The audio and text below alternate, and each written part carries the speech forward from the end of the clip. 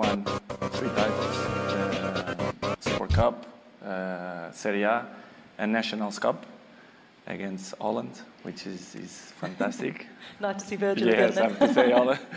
and it was good. Uh, individual, I, I did very well. Uh, I won.